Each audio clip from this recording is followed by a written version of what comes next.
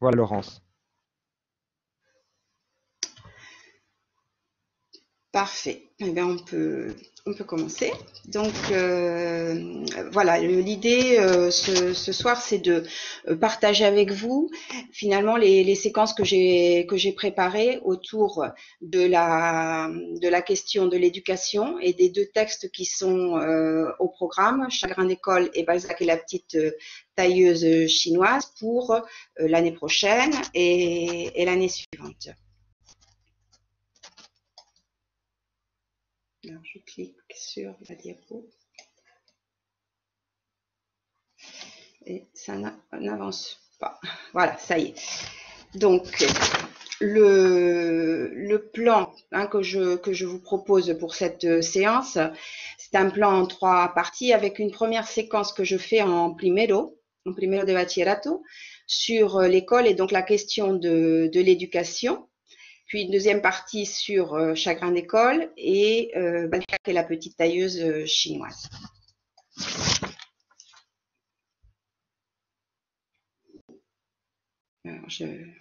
Voilà. Voilà, donc cette, première partie, hein, c'est une, séquence, pardon, excusez-moi, j'ai cliqué deux fois sur la diapositive, je pensais que ça n'allait pas fonctionner. Voilà. Donc, dans cette première séquence, que j'ai intitulé euh, L'école d'hier et d'aujourd'hui. J'ai deux objectifs. Je voudrais aborder la question de l'école et de l'éducation, qui est celle que, nous allons traiter à travers les deux œuvres qui sont au programme, en variant les supports. Et le deuxième objectif que j'ai, c'est de faire produire euh, les élèves des productions orales et des productions euh, écrites et j'avais déjà euh, fait cette séquence l'année dernière. J'ai aussi euh, voulu qu'ils produisent un petit carnet d'élèves, un cahier qui leur permette de laisser la trace de différents euh, travaux d'écriture. J'avais d'ailleurs travaillé en collaboration avec mes collègues d'espagnol et de, catalan qui, et d'anglais qui avaient aussi participé à l'élaboration de ce, de ce cahier. Bien entendu, euh, pour nous, c'est la production et, la orale et écrite en français qui nous, intéresse. Donc, ce que je vais faire, c'est que je vais vous proposer euh, beaucoup de, supports de différentes natures et euh, dans l'idée que eh bien peut-être vous n'allez pas les utiliser tous mais que vous allez pu, pouvoir en utiliser certains en laisser d'autres c'est aussi parce que bon en fonction de, chacun, de son goût euh, pour euh, différents supports, eh bien, on est plus à l'aise ou avec certains qu'avec d'autres et pour euh, pour varier. Donc je vais vous en proposer un certain nombre. Mais voilà je voulais vous dire aussi que ces séquences hein, ces trois séquences ne sont pas des séquences modèles. Ce sont des propositions que, que je partage avec vous mais en aucun cas ce n'est un, modèle à suivre. Euh, vous avez, certainement vous aussi euh, beaucoup de beaucoup travaillé, vous avez certainement beaucoup d'idées euh, très intéressantes. Et l'idée c'est simplement de, de, partager tout cela. Donc pour le, le premier document par lequel je, je commence, c'est un document iconographique, c'est une photographie ou plusieurs photographies de Robert Doisneau, que vous connaissez, hein, le, le, photographe à partir duquel je, commence cette séquence. Donc, si tu veux, euh, Sébastien, tu peux mettre le lien. Il y a un lien vers une, une page qui est, la page de Robert Doisneau. Donc, si vous voulez l'ouvrir, ça prend deux minutes. Vous allez voir que sur cette page, qui est donc la page officielle hein, consacrée à, ce photographe, vous avez différentes euh, photographies. Alors, elles ne sont pas exactement, ce ne sont pas toutes des photographies qui sont euh, en relation avec l'école, c'est en relation avec l'enfance. Et si vous cliquez hein, sur, euh, sur la flèche, bah, vous allez tomber sur les photographies les plus emblématiques. Certaines ne sont pas, moi certaines, il y en avait que je ne connaissais pas, mais celles sur l'école, ce ne sont pas les premières. Si vous regardez, il y a je crois qu'il faut en, passer au moins 7 ou 8 avant d'arriver. Voilà, vous avez la première qui est le, petit garçon là qui met le, doigt dans la bouche de son, de son camarade qui a sans doute une dent qui, qui bouge. Euh, Celle-ci, vous avez le titre des photographies en dessous, hein, qui date de 1956, le cadran scolaire. Le, celle-ci aussi, hein, la suivante, euh, de l'information euh, qui sont connues. Donc voilà, hein, ces, photographies, euh, je, je m'en sers pour faire, je reviens là à la présentation pour moi, pardon, je m'en sers pour euh, faire un travail de production orale plutôt que de production euh, écrite. Donc les élèves choisissent une des photographies qui est en rapport avec l'école, parce que c'est notre sujet. Hein, je, on peut commenter évidemment certaines photographies qui sont en rapport avec l'enfance, mais là, je leur demande de choisir une des photographies qui euh, est en rapport avec l'école. Et ils ont à préparer une petite présentation euh, orale assez courte afin de, de, présenter cette photographie, de la décrire et puis d'en faire une analyse et une interprétation. Donc, vous voyez, c'est pas un exercice qui euh, est très très original, mais ça me permet de commencer euh, sur euh, quelque chose qui, qui, est plaisant et qui me permet ensuite de travailler autour de des souvenirs personnels qu'ils ont eux-mêmes de leurs années à l'école maternelle ou à l'école primaire à partir d'une photographie personnelle. Généralement, ça leur plaît parce que leur, euh, leur passé d'élèves, qui bon, c'est quand même relativement récent pour eux, euh, est toujours euh, quelque chose sur lequel ils aiment, sur laquelle ils aiment revenir. Ils aiment bien raconter leurs souvenirs d'école. Et donc, je leur propose un travail d'écriture autour d'une photographie personnelle qui est un travail d'écriture qui n'est pas forcément un travail très, euh, très long. Ça aussi, c'est quelque chose que euh, j'essaie de, faire avec mes élèves. Beaucoup de productions écrites, mais pas forcément des productions très longues. Je pense qu'il est plus intéressant pour les élèves d'écrire peu, mais souvent. Ça n'empêche pas qu'à la fin, il faut une production longue, hein, qui sera celle de la rédaction ou de, de l'essai donc avec 250, euh, 300 mots. Mais euh, les productions courtes et euh, répétées permettent de progresser davantage, je pense, hein, pour, un, grand nombre d'élèves. Ça offre aussi l'avantage de pouvoir être corrigé plus, rapidement parce que bon, quand on a beaucoup d'élèves en Pachibac, on ne peut pas non plus corriger des productions très longues tout le temps pour, tous les élèves. Donc des productions assez courtes, euh, très ciblées, euh, permettent de travailler euh, la langue, parce que là, évidemment, je ne suis pas encore en train de travailler la méthodologie, ni de la rédaction, ni, ni de l'essai, ni, du commentaire, évidemment. Donc, ensuite, je, je passe à un extrait de Chagrin d'école. Donc, je suis sur une séquence sur l'éducation, mais je euh, travaille déjà un texte de Chagrin d'école. C'est ce que j'avais fait euh, l'année dernière sans savoir que Chagrin d'école serait, euh, serait au programme. Et je, je l'ai refait parce que c'est une première approche dans une première séquence, sans entrer dans le, dans texte, en travaillant à partir d'un, du, je crois que c'est dans la première Hein, le chapitre 3. Alors, je vais à chaque fois faire référence à l'édition, euh, à la collection Folio chez, euh, chez Gallimard. Hein, c'est donc euh, le, chapitre 3. Oui, c'est le chapitre 3. Et je le fais de la, façon suivante. C'est un chapitre qui n'est pas très très long, hein, comme tous les chapitres de la première partie. Je divise le texte en, neuf parties que je, que je découpe pour que les élèves reconstituent euh, le texte. Alors, c'est intéressant parce que c'est un texte qui commence par euh, donc. Hein, donc, j'étais un mauvais élève. Chaque soir de mon enfant, je rentre à la maison poursuivi par l'école, etc. Donc, ça, je pourrais vous le, vous le laisser. Hein, le, le, découpage, euh, c'est un texte où il y a des passages euh, du, dialogue et ce n'est pas si évident que cela de le remettre dans l'ordre, de remettre tous les passages dans l'ordre, de reconstituer le texte dans l'ordre. Je le fais faire en, travail de groupe pour qu'ils aient à discuter entre eux de, euh, de la façon dont ils doivent ordonner ces passages pour que le texte euh, soit reconstitué dans son intégralité, sachant que ce texte, donc ce, chapitre commence par un donc que généralement, il ne commence pas par ce, paragraphe, puisque euh, cette euh, conjonction de, coordination hein, qui indique la, conséquence, c'est peu habituel de, euh, l'utiliser en début de, paragraphe, en début de devoir pour eux, par exemple, s'ils doivent, eux, s'ils rédigent une production, s'il faut une, s'ils réalisent une production écrite et qui commence par donc, on va leur dire que ça ne va pas, il y a quelque chose pas.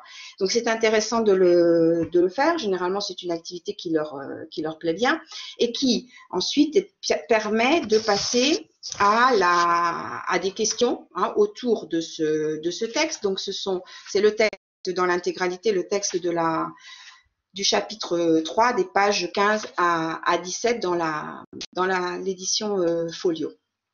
Avec, vous allez voir, des questions ensuite qui sont des questions tout à fait euh, classiques. Hein.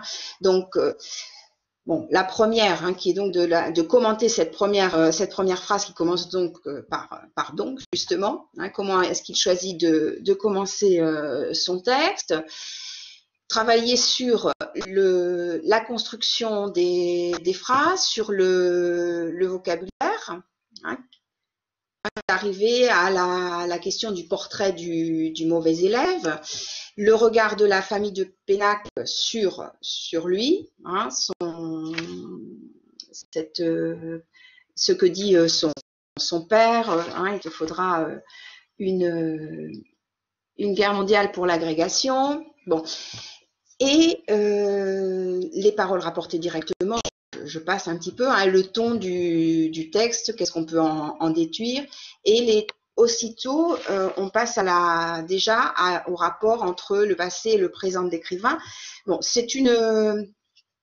Ce sont des questions où on peut leur demander d'avoir euh, les mêmes contraintes que les questions de commentaire euh, du, bac, à savoir les 70 mots, hein, pour pouvoir déjà travailler un petit peu la, la méthodologie du, commentaire donc la contrainte de la, de la longueur de la réponse et euh, également euh, la justification, justifiée par les éléments, les éléments du texte. Donc voilà, j'ai fait le choix de conserver ce texte dans cette séquence. C'est une première approche de, de Daniel Pénac qui retrouveront ensuite dans la séquence sur l'œuvre à proprement parler euh, qui est au, programme du, du Bachibac. Donc j'ai commencé par une photographie, je suis passée euh, au texte et pour aller plus loin sur toujours des textes d'auteurs, je demande à mes élèves de chercher des textes sur euh, l'école et je leur pose des noms faire les guider vers certains auteurs qui sont euh, en quelque sorte des, des, valeurs sûres. Donc Jules Vallès, euh, Sartre, Pagnol, Hugo, Sarraute, et en faisant des, recherches sur, euh, dans l'encyclopédie Larousse, par exemple, ou dans d'autres, dans d'autres encyclopédies, ils peuvent tomber assez facilement sur des textes de ces, de ces auteurs-là. Ils connaissent parfois certains, certains textes hein, de Victor Hugo et ils s'en souviennent à l'occasion pas forcément, ça, dépend. Et je fais en sorte de les amener vers deux textes qu'ils retrouveront ensuite dans euh, Chagrin d'école. Donc euh, l'enfant et le maître d'école, qui est à la page 218, hein, la fable de La Fontaine, et le passage d'Alphonse Daudet, la douleur du pion torturé, qui euh, se trouve aussi dans le, dans le texte. Pourquoi est-ce que je fais ça? Parce que j'essaie de faire des créer des ponts entre euh, cette première séquence et les textes qu'ils euh, verront euh, par la suite, et en particulier Chagrin, d'école. Donc je suis toujours sur les, textes d'auteurs, les textes de littérature. Je passe ensuite à, la poésie et à un texte en prose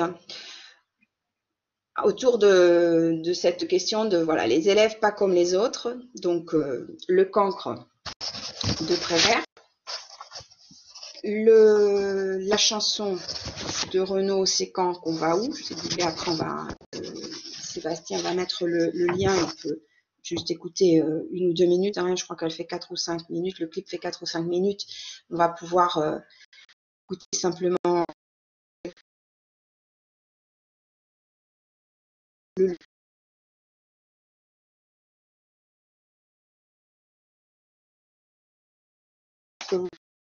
je travaille d'écriture et du mauvais élève.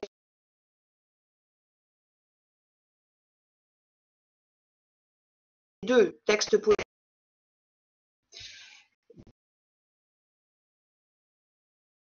Hein,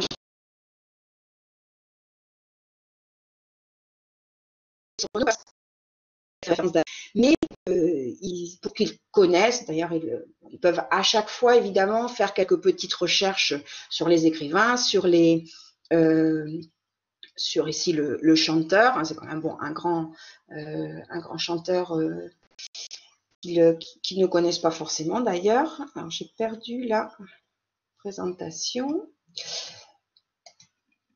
Et donc. Lance oui. Laurence, tu m'entends? Je me permets d'intervenir. On a eu une coupure euh, son. Est-ce que tu pourrais ah. revenir un petit peu en arrière sur euh, euh, le moment où tu évoquais l'idée de travailler la chanson de Renaud? Oui, d'accord, pas de problème. Peut-être, Laurence, aussi couper le, ta caméra et garder juste le son, ah. peut-être, pour essayer d'économiser de, la bande passante. Super, merci. Voilà, j'avais oublié, pardon. La caméra ne sert pas à grand-chose, en effet. Merci Sébastien. Donc, je, disais que je, travaillais là dans cette euh, troisième partie de cette séquence sur des textes poétiques. D'abord un texte euh, poétique à part entière, hein, un poème de, Jacques Prévert, Le Cancre, qu'il connaît euh, parfois, bon, pas, toujours. Hein. Et n'est pas au même niveau qu'une école en présentiel. Pardon Et donc, euh, ensuite, une, chanson, c'est quand, qu'on va où? De, de Renault. Et donc, Sébastien a mis le lien, on, pourra aller voir le, euh, le clip, le vidéoclip qui est le vidéoclip officiel de, la, chanson. Et après, je, vous expliquerai, je travaille sur un autre texte, euh, un extrait de L'élégance du hérisson de Muriel Barbery, où là, c'est le personnage d'une enfant, euh, d'une élève surdouée, la petite euh, Paloma, hein, qui. et à partir de là, je fais un travail d'écriture. Allez voir la, la photo, de deux minutes, 4 minutes, 4 minutes 11. Regardez.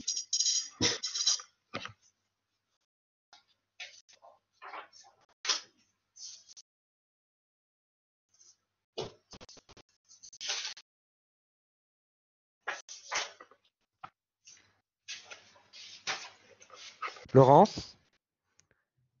Laurence On, on t'entend très très mal. Laurence?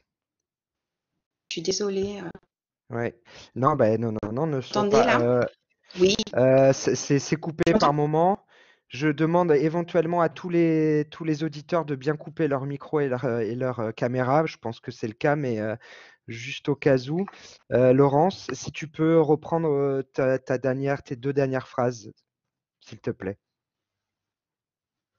Oui, je reprends. Bah, moi aussi, je t'entends, je t'entends, c'est haché, hein, euh, je Pense qu'on est, sur le réseau.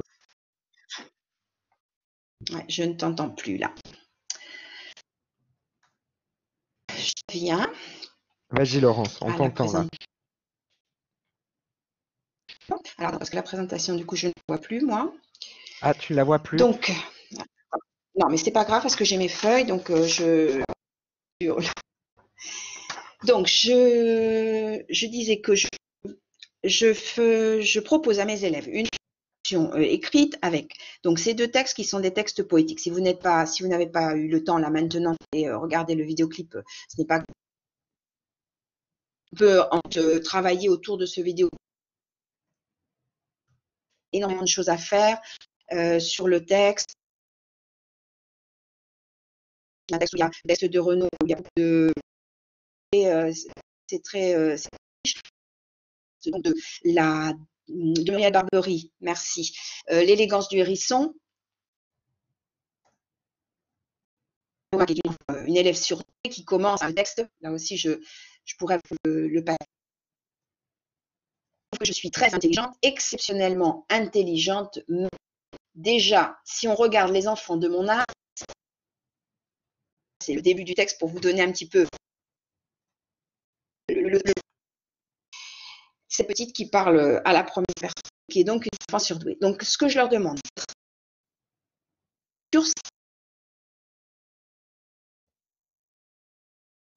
et le thème. Donc, euh, s'ils veulent, ils peuvent écrire un poème sur une enfant surdouée, qui pourrait être eux-mêmes, ou un texte en prose sur le, le, cancre ou le mauvais élève. C'est assez surprenant parce qu'ils euh, choisissent souvent les du poème, enfin, j'ai toujours l'impression d'écrire un texte en prose. Or, Laurence? Une, une, Oui.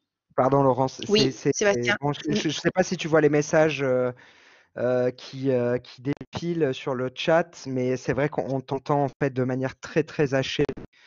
Euh, donc pour l'instant, c'est difficile à suivre. J'ai pas de solution immédiate parce que je pense que c'est une histoire aussi peut-être de, de, de, bande passante.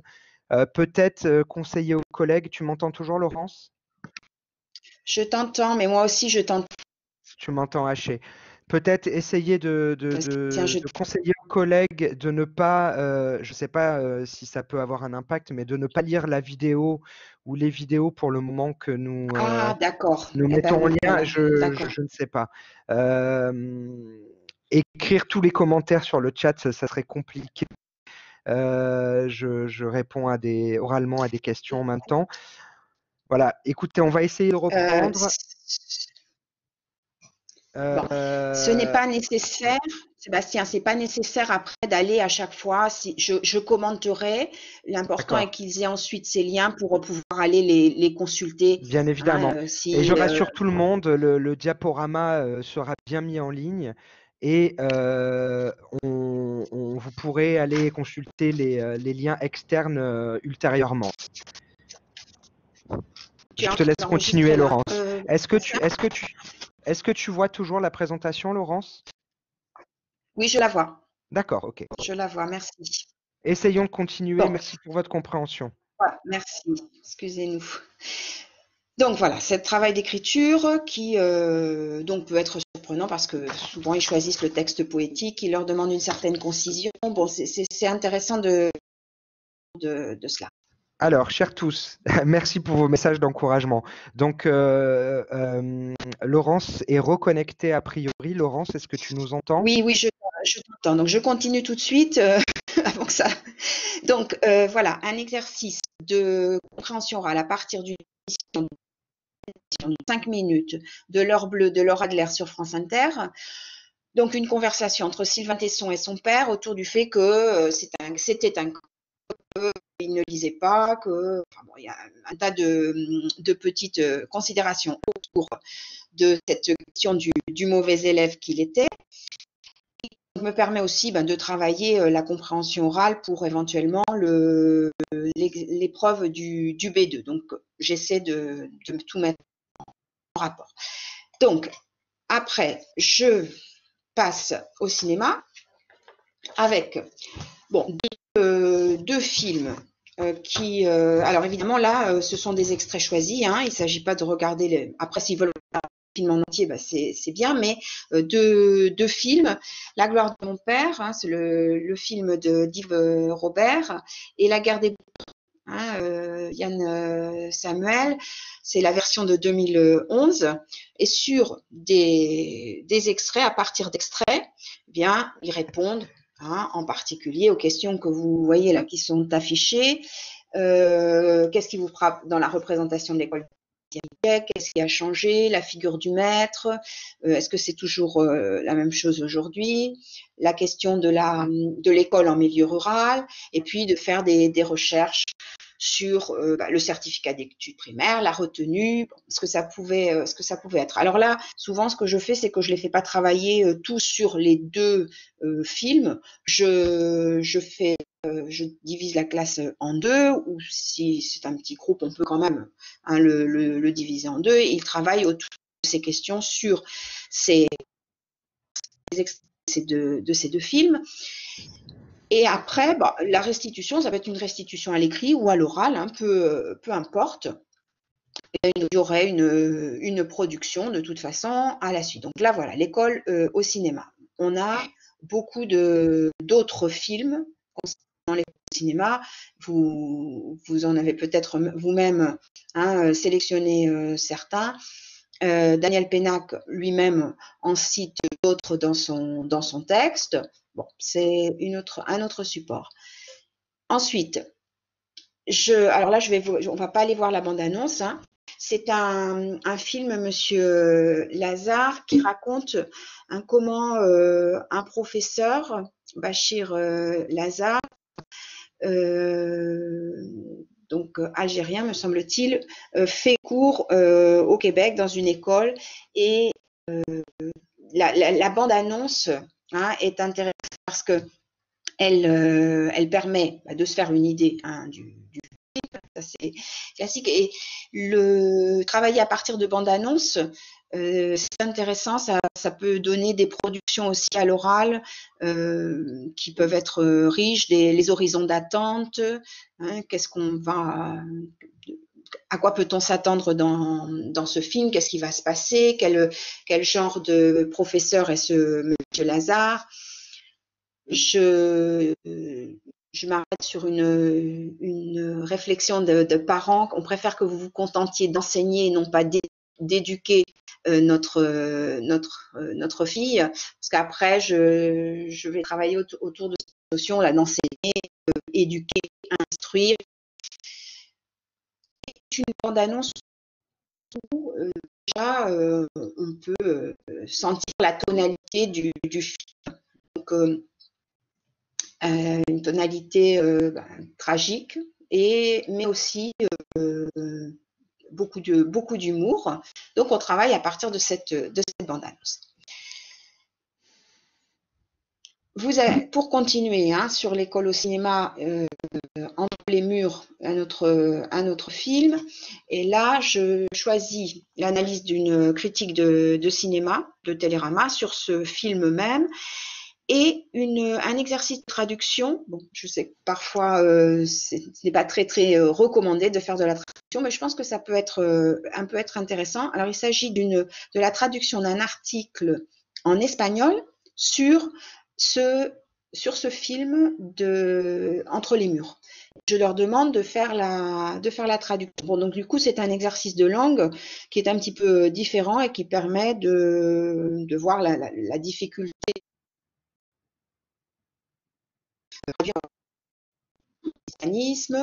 euh, aussi. J'ai mis aussi, j'ai rajouté ça, je ne l'avais pas fait, euh, l'esquive parce que dans Chagrin d'école, hein, dans la partie 4 au chapitre 5, il en est, euh, il en est question. Encore un autre, un autre support. Et je leur demande de travailler autour de, de faire un petit travail de recherche sur des pédagogies alternatives avec bah, ici Freinet, Montessori, on peut en trouver euh, d'autres s'ils veulent, mais j'ai choisi ces deux-là, et de faire un petit exercice de restitution à l'oral euh, autour de cela pour parler de ces euh, différentes pédagogies, des, des méthodes à employer. Et voilà.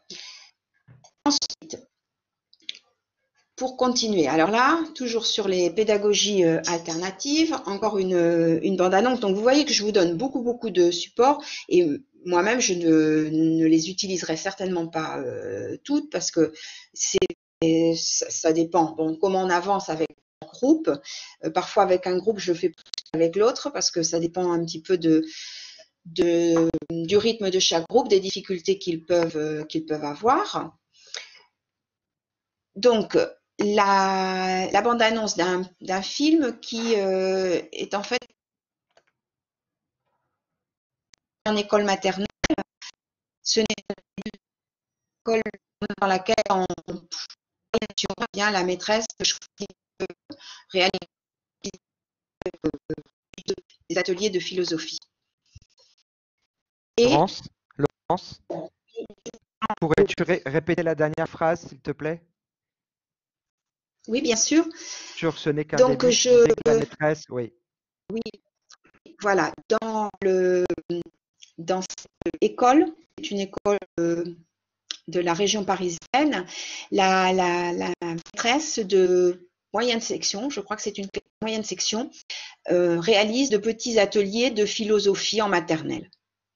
Donc les enfants sont, sont filmés dans leurs euh, euh, interventions autour de ces petits ateliers de, de philosophie sur bah, voilà l'amour, la mort aussi, des, sujets qui les qui peuvent euh, leur plaire. En tous les cas, ça, ça leur plaît de, de, voir cette petite euh, cette bande annonce parce que les enfants sont sont très naturels, euh, ils sont amusants dans leurs euh, dans leurs commentaires et comme eux-mêmes ils ils aiment bien revenir sur leur sur leur euh, d'élèves, ça donne lieu parfois à des, à des conversations autour de leur propre expérience et puis aussi autour de l'expérience de la, de la question de la philosophie. Euh, voilà, faire de la philosophie en maternelle, c'est pas forcément, forcément euh, évident. Eux-mêmes sont en train de faire, euh, de suivre des cours de philosophie donc, on travaille autour de cette, question. Et puis ensuite, de travailler autour de ce qu'on appelle la pédagogie euh, inversée, une nouvelle façon d'enseigner, bon, qui n'est pas si nouvelle que cela. Et ce sont des exercices. Et là, j'ai aussi un autre exercice de compréhension orale à partir euh, encore d'une émission radio. Voilà. Donc, je continue et là, tout, là, tout ça, eh bien, on était sur euh, donc des, euh, la question de l'éducation euh, donc hier et aujourd'hui, mais tout ça, ben, en France. Hein. Et donc, on va ailleurs avec Là aussi, il s'agit d'un film et je vous ai mis le lien, Sébastien va vous mettre le lien vers un dossier pédagogique qui est fort récent, qui permet de de travailler autour de ce film reportage sur, sur le chemin de l'école pour euh, alors là dans d'autres dans d'autres pays hein, il y a euh, l'Argentine le, le, Maroc il y a quatre pays un pays aussi euh, d'Afrique noire je me souviens plus lequel. Et euh, travailler autour de la notion de la, chance qu'on a de pouvoir aller euh, à l'école. On avait travaillé un petit peu au départ sur la question du cancre, du mauvais élève, de celui qui n'aime pas aller à l'école, avec la chanson de Renaud par exemple. Mais là, c'est l'idée que, eh bien, euh, aller à l'école, c'est une chance et que certains euh, enfants sont prêts à beaucoup de sacrifices pour pouvoir assister à, au tout ça dans l'idée de déjà préparer un petit peu ce que l'on va lire euh, par la suite dans chacun école et aussi dans, dans Balzac et la tailleuse chinoise. Voilà, et je termine. Ça, c'est pour la question de, la, de cette séquence-là sur euh, l'école d'hier et d'aujourd'hui, sur et l'éducation dans tout cela. Bon, des travaux euh, de, de groupes autour, de certaines euh, notions, hein, donc euh, bon, l'éducation dans l'Antiquité, la scolastique, le précepteur, les collèges jésuites, l'éducation des filles, l'école de la République, sachant que là aussi certains euh, sujets reviennent dans reviennent chez chez Pénac. on n'est pas d'utiliser choisir tous les sujets, on peut en choisir seulement certains.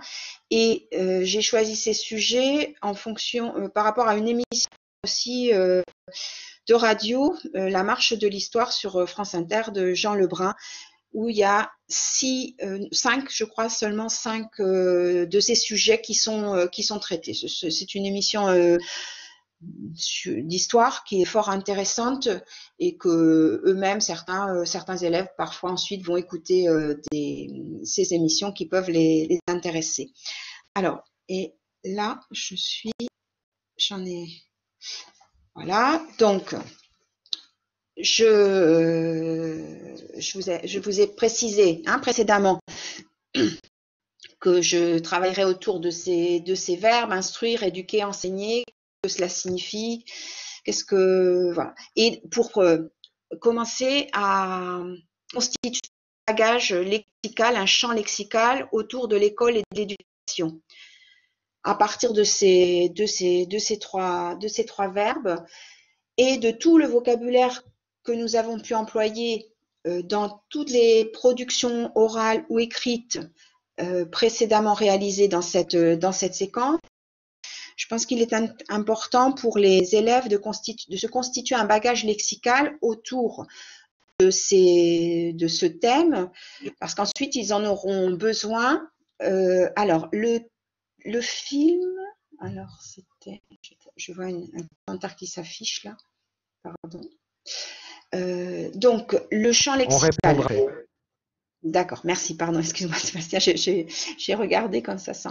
Donc, le champ euh, lexical de l'école et de l'éducation, oui, parce que je pense qu'il est important que les élèves se constituent un bagage lexical lorsque nous corrigeons des productions euh, écrites en particulier euh, et, les, productions, les examens des candidats du, du bac la question du, lexique fait vraiment la différence entre les, entre les copies. Euh, les élèves qui ont, les candidats qui ont un bagage lexical riche, nuancé, euh, se détachent du reste des autres, des autres candidats, même si après il peut y avoir des erreurs de langue, ils peuvent commettre des erreurs de langue, mais le, le champ lexical, c'est ça, c'est important. Donc, je leur demande de constituer, de commencer à, rédiger, à, ouvrir une fiche sur le champ lexical de l'école et de l'éducation. Et euh, aussi de travailler, enfin d'aller chercher d'autres textes sur des auteurs qui seront ensuite euh, cités par, euh, Pénac. Pas tous, mais certains, donc Montaigne, Rousseau, Voltaire, Hugo, Camus, euh, sur lesquels ils peuvent euh, travailler autour de cette notion d'instruire, éduquer et, enseigner. Et voilà, donc euh, la fin de la première partie. Je, alors, je veux bien répondre à vos questions si vous en avez. Si Laurence?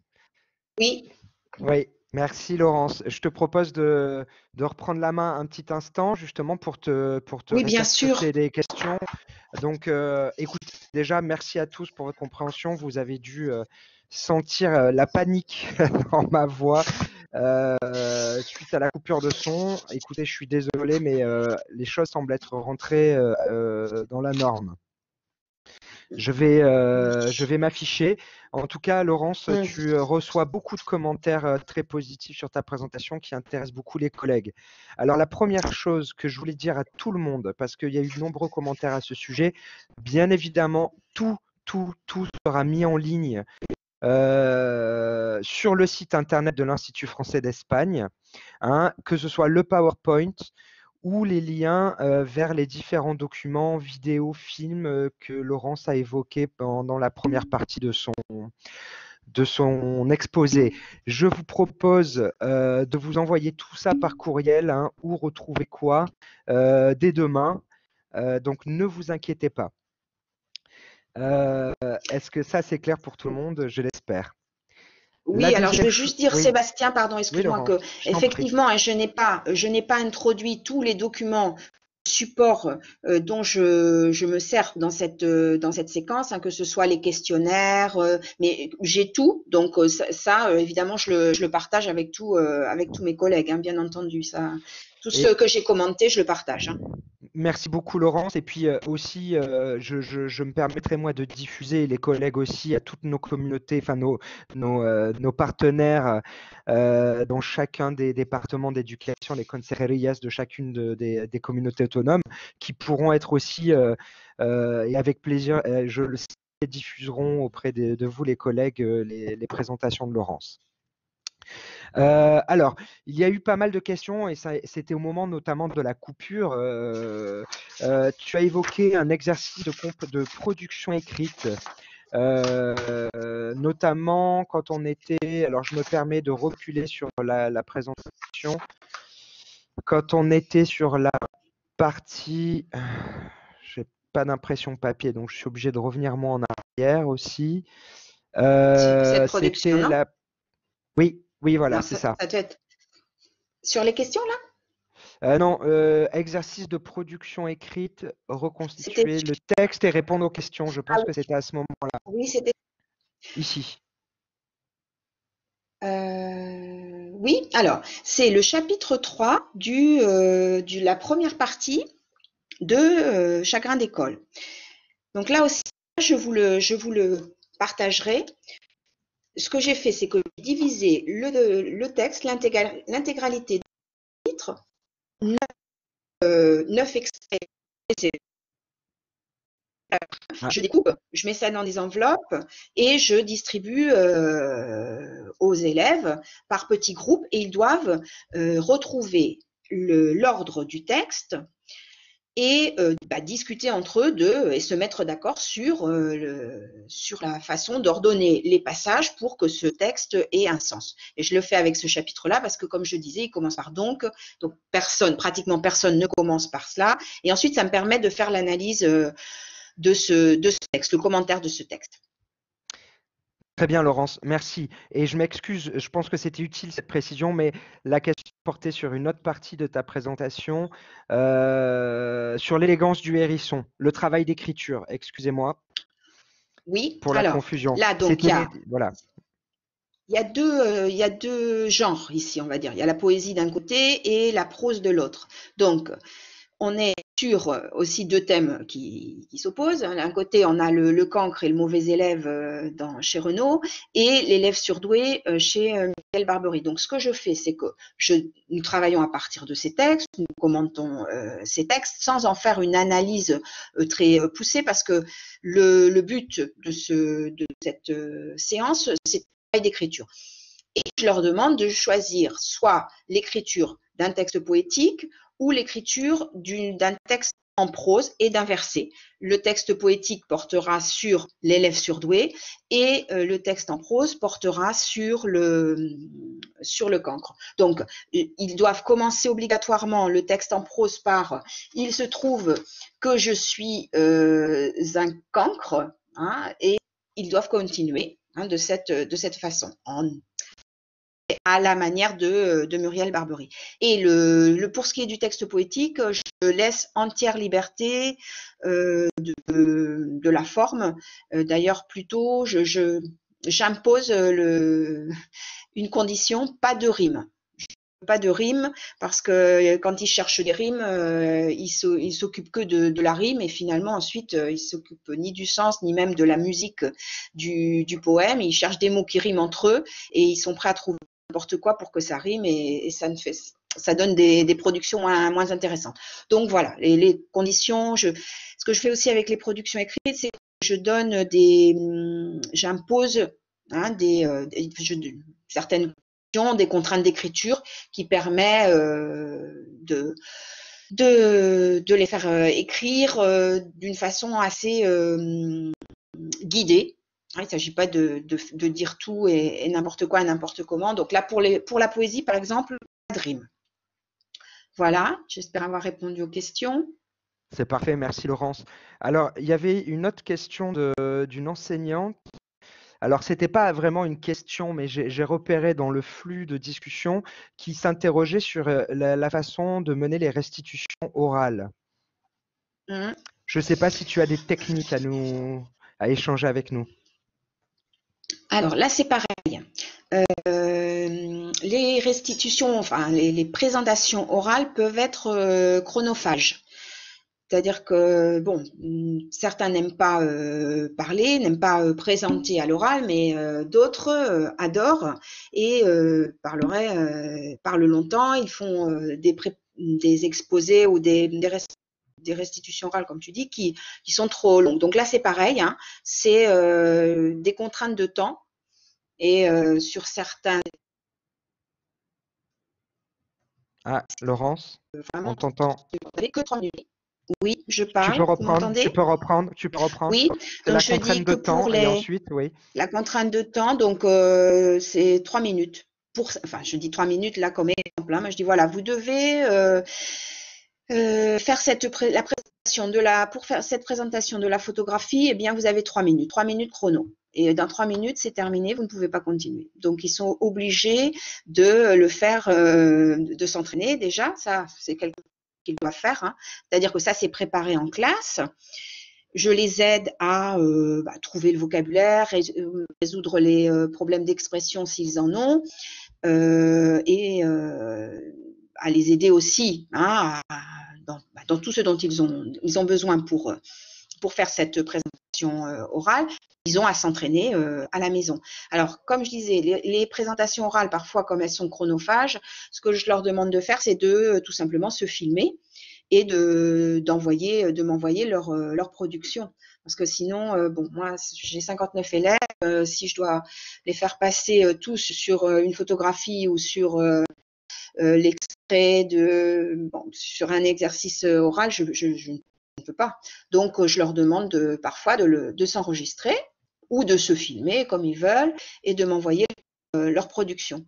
Mais les contraintes de temps, quand il y a des restitutions orales, c'est important.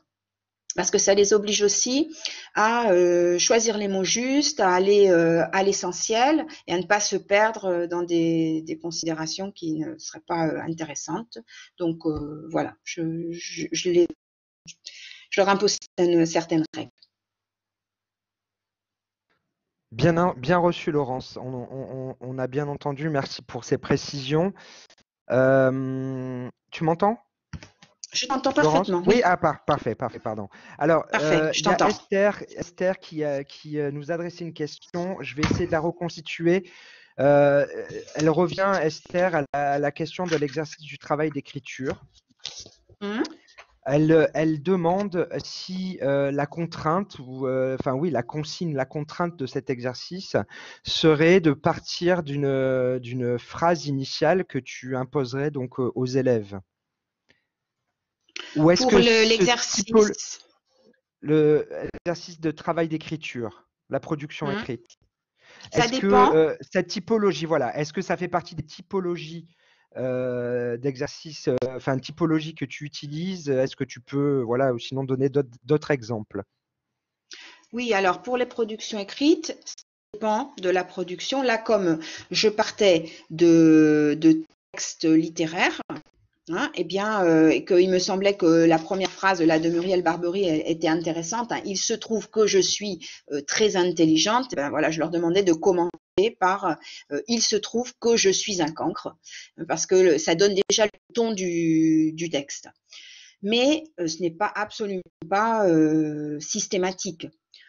Parfois, lorsque je leur demande une production euh, écrite qui peut être par exemple la réponse à des questions de, commentaires, là bien entendu, ben, il n'y a pas d'autre euh, consigne que celle de la euh, le nombre de mots, le respect de la, consigne et la justification du par le texte. Après, je demander de utiliser, par exemple, lorsqu'on fait des, des réponses à des questions type commentaire, d'utiliser obligatoirement euh, euh, un mot qui va permettre d'introduire un exemple. Je leur dis, voilà, dans une des trois réponses, parce que dans le commentaire, hein, comme vous le savez, euh, il y a trois questions, il faut apporter trois réponses à partir d'un texte. Donc, je leur dis, bah voilà, il faut que dans une des trois questions, vous ayez utilisé l'adverbe notamment. Voilà. je peux leur donner de, des consignes euh, précises et ou, pas, hein, ça, dépend parce que bon, après euh, l'objectif étant tout de même que l'année d'après euh, à l'examen, il n'y a a pas ce genre de, de contraintes. Hein, ils ont le commentaire la rédaction, l'essai, et euh, c'est à eux de prendre toutes les décisions et de d'utiliser tous les outils euh, nécessaires et appropriés pour réaliser au mieux leur, euh, leur production écrite. Mais en les guidant, ce que j'essaie de faire aussi, c'est de créer certains automatismes. Voilà, j'utilise certains mots pour introduire ou certaines expressions pour introduire l'exemple. Je les oblige à le faire pour qu'ensuite, petit à petit, euh, ils, ils le fassent. Et du coup, je mets en place avec eux, euh, je, vais aller très vite, mais euh, je mets en place avec eux une fiche de suivi individuelle. Chacun a sa fiche de suivi. Une fiche de suivi qui concerne absolument tous les aspects de la, de la production euh, écrite et de la production orale. Donc, toutes les questions de langue, de méthodologie, chacun euh, la met à jour en fonction de ses productions et cette fiche, elle évolue.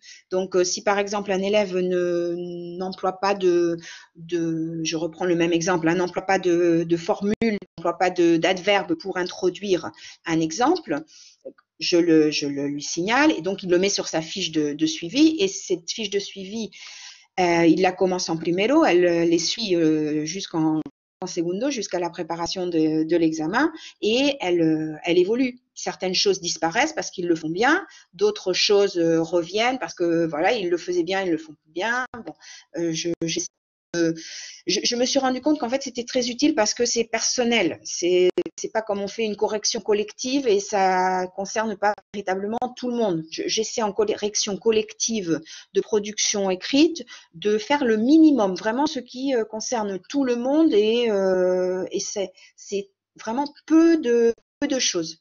Après chacun euh, met à, jour sa fiche de suivi et donc s'en sert pour la préparation. Oui, ça peut être numérique, tout à fait. Au contraire, c'est mieux parce que il la partage avec moi et du coup, euh, je vois aussi comment elle évolue. Donc euh, effectivement, une fiche numérique, c'est ce qu'il y a de y a de mieux. Toutes les fiches d'ailleurs, hein, si elles peuvent être euh, numériques, même la fiche qui concerne le, le lexique, alors ça, c'est obligatoirement individuel. Cette fiche de suivi, elle est obligatoirement individuelle parce qu'il s'agit de faire en sorte que l'élève prenne conscience de ses difficultés, euh, réfléchisse à sa, la façon dont il, dont il produit hein, des, des, textes et euh, qui se rende compte de ce qui ne, ce qui ne va pas. Alors, euh, finalement, ce qui va apparaître le moins, c'est pratiquement l'orthographe parce que les élèves qui ont des difficultés en orthographe, Hum, bon, c'est assez difficile de. Ils connaissent les règles en général. Quand on les, ensuite, quand on leur fait corriger leurs erreurs, ils voient bien que euh, voilà, il y a une erreur d'accord, il y a une erreur sur la terminaison verbale. Mais c'est au moment où tout seul, ils, ils le voient pas.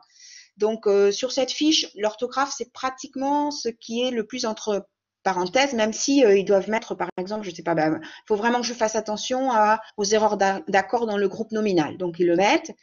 Hein, voilà. Donc après, je leur demande ces fiches, ils peuvent même les avoir lorsqu'ils produisent, hein, lorsqu'ils sont en, classe, s'ils sont même en examen, ils ont droit à cette fiche pour qu'ils puissent voir, euh, regarder. Euh, au début, je les laisse utiliser cette fiche et de faire une relecture par exemple sur et je leur dis bah voilà pour l'orthographe je vais euh, vous évaluer euh, en particulier sur les accords et certains, certains sur les accords, d'autres ça va être sur l'orthographe lexicale parce qu'ils ont une très bonne. Euh, c'est la fiche de suivi individuel. C'est ce que j'appelais la fiche de suivi individuel que vous pouvez appeler autrement. Hein. Voilà. On peut continuer si tu veux, Sébastien, si, oui, si y a d'autres questions. Alors, il y avait, il y avait peut-être une dernière question qu'on pourrait traiter rapidement maintenant, quitte à peut-être y revenir plus tard.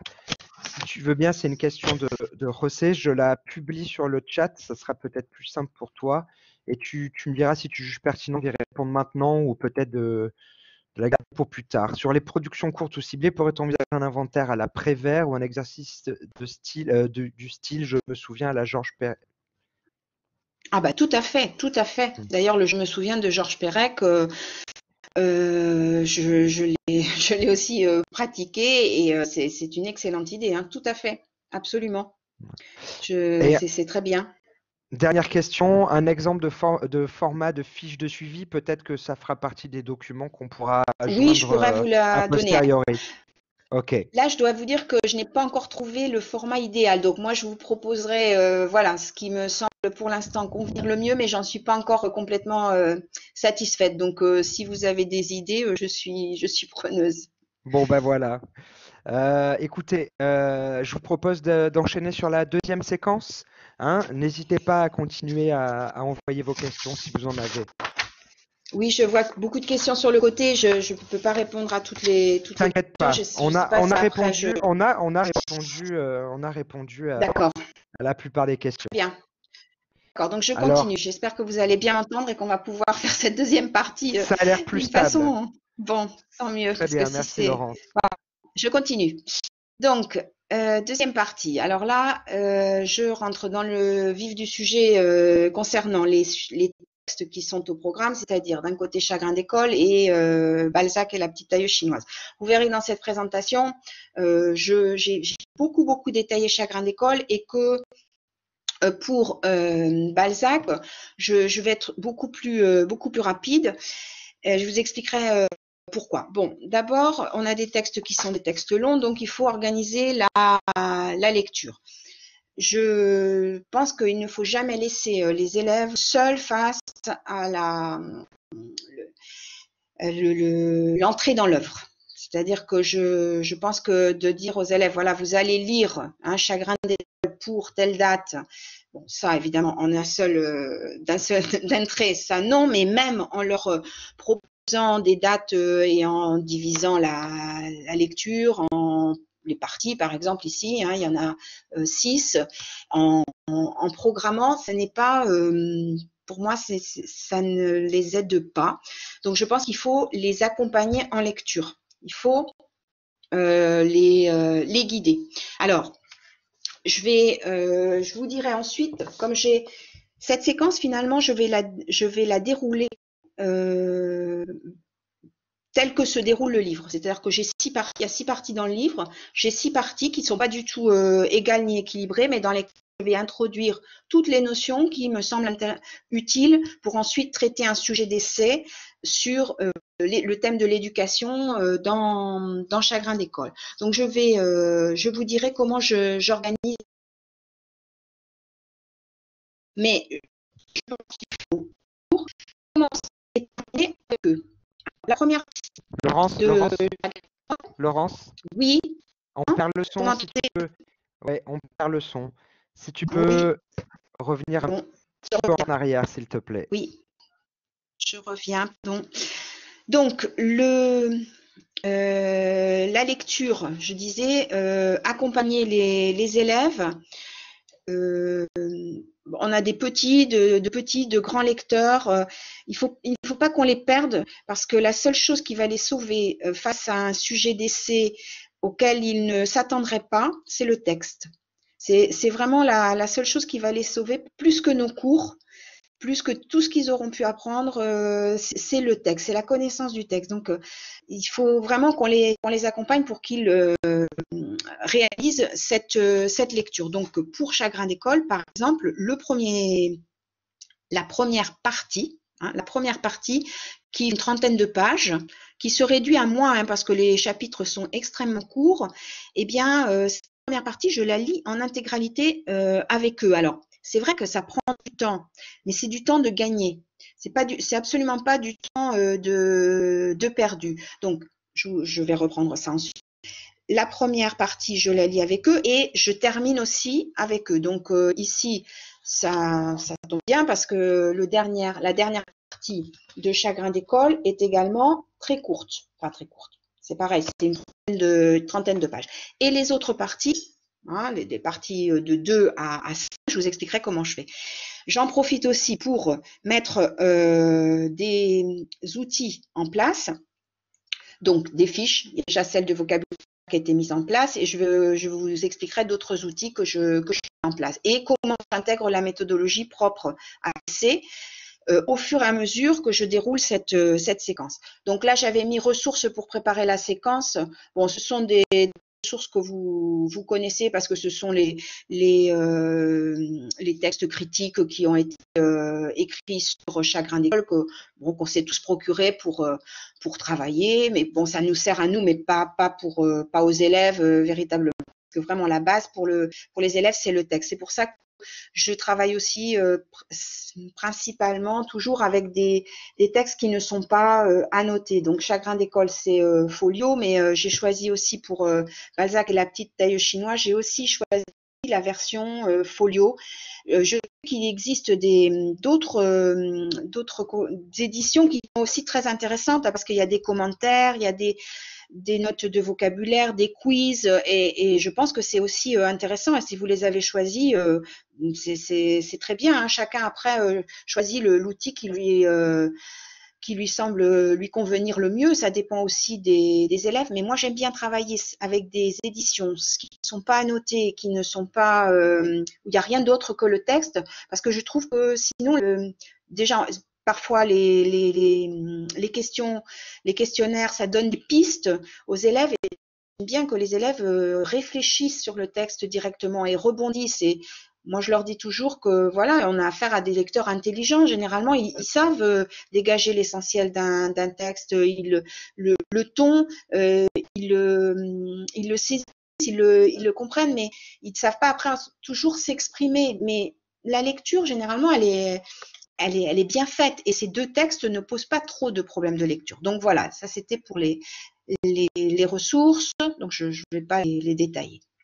Alors, donc comme je vous l'ai dit, hein, je divise cette, euh, cette séquence en euh, plusieurs, euh, plusieurs parties. Et la première, donc entrer dans l'œuvre, la première partie que je lis dans l'intégralité avec les élèves. Et je commence, je commence par le, établir des liens entre le titre, donc Chagrin d'école, la dédicace, Hein, de, Daniel Pénac, hein, tout au, début, hein, pour mine au combien, je ne la lis pas en entier, vous l'avez, et le euh, premier chapitre.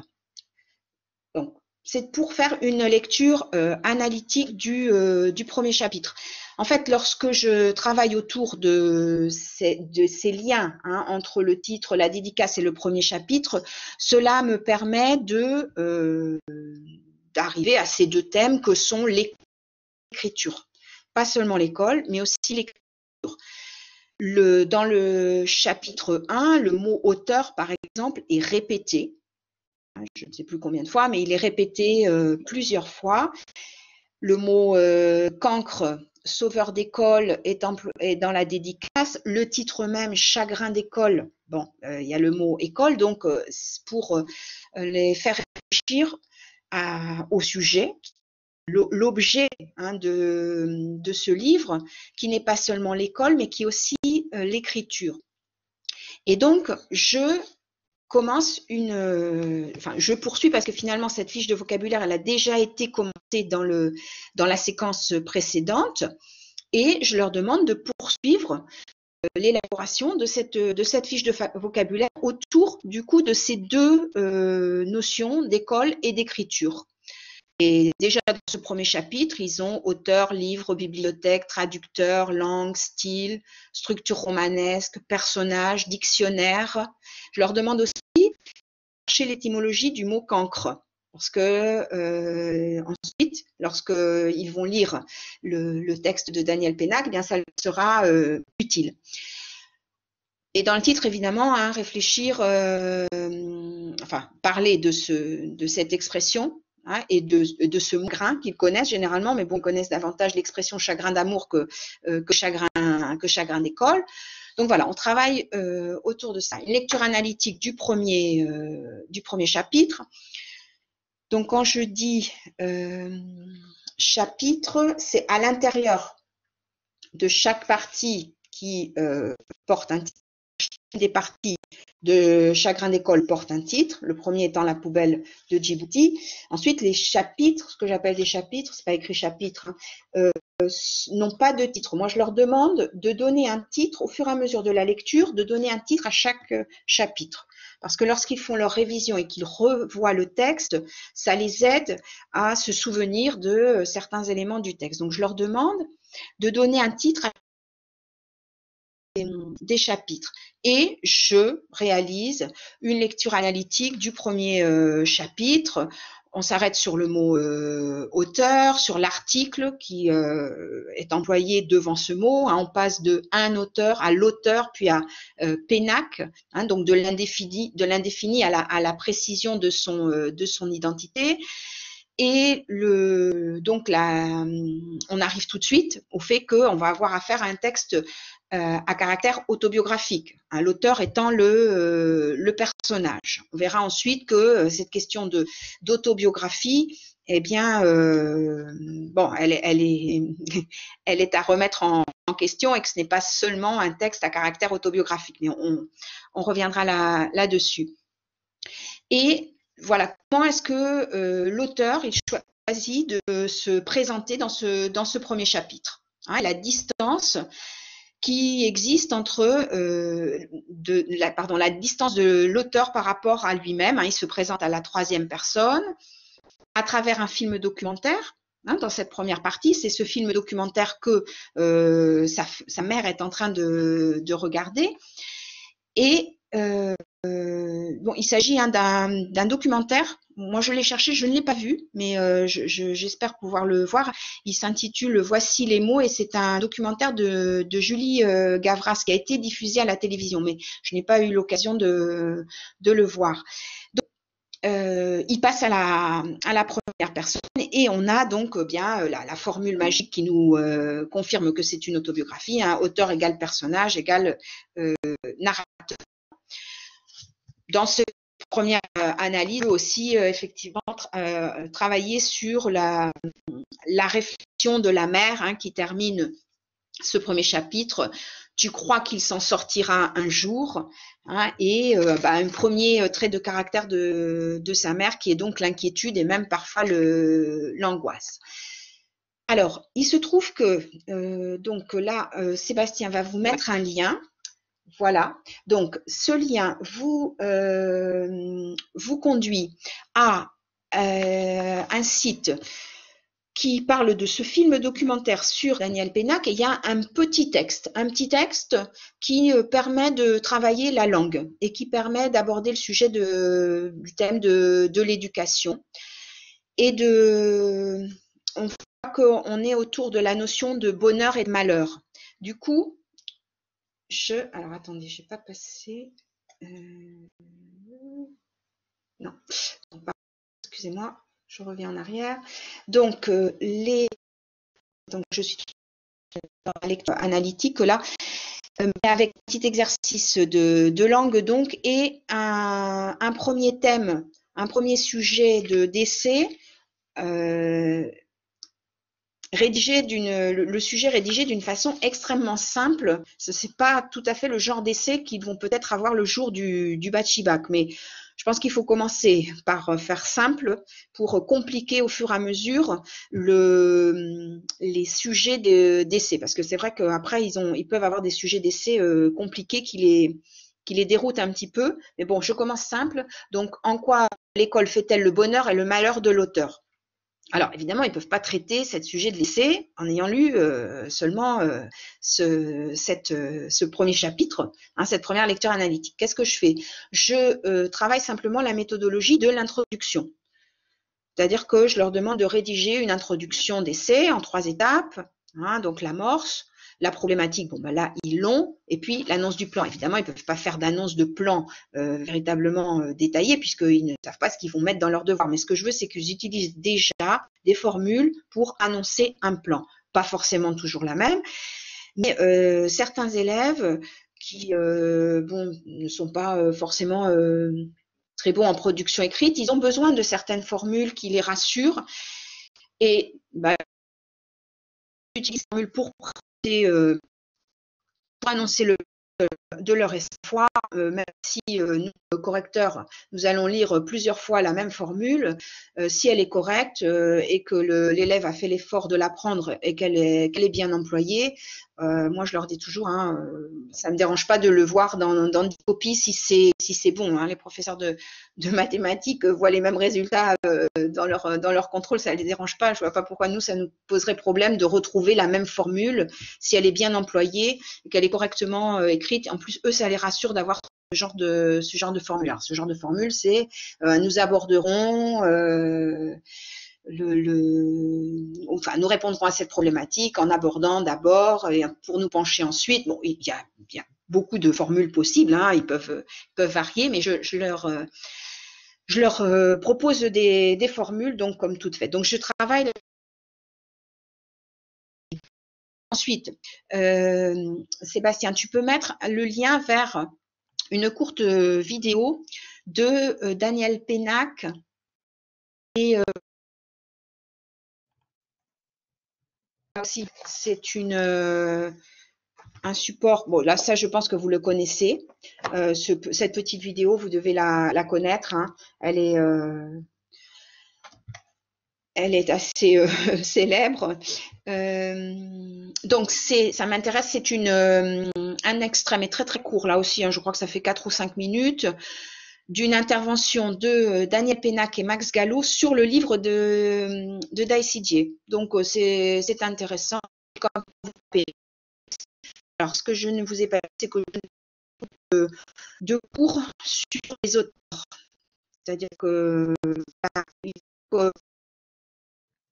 de connaître euh, l'auteur, mais les signes ne vont pas. Oui, oui, On a eu une petite coupure son à nouveau. Donc si tu peux reprendre euh, à partir de. Donc on a mis on a mis l'extrait euh, sur le chat.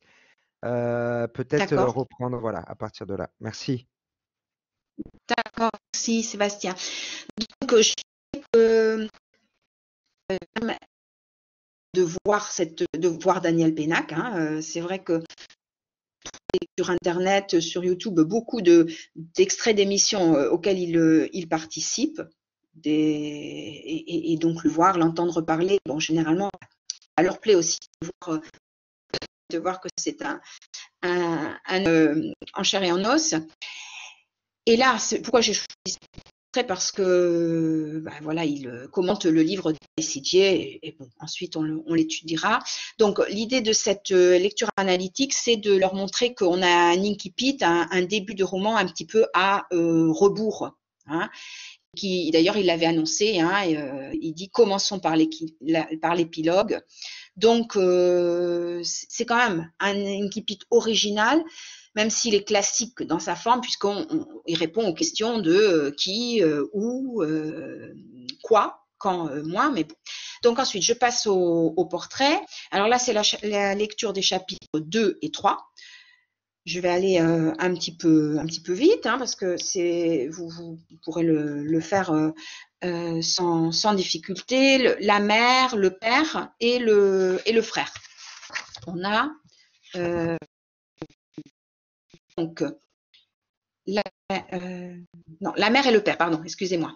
La mère euh, et donc les éléments qui les caractérisent. Alors, c'est important de mettre en place à ce moment-là des fiches sur les personnages qui vont apparaître dans ce roman. Et ce qui me semble important, c'est que justement cette fiche, ce soit pas une fiche qu'on, ce soit une fiche véritablement qu'ils élaborent eux, parce que des fiches sur les personnages, ils peuvent les trouver aussi sur internet, ils peuvent les trouver euh, n'importe où. Même nous, on pourrait leur donner la fiche toute faite sur les personnages.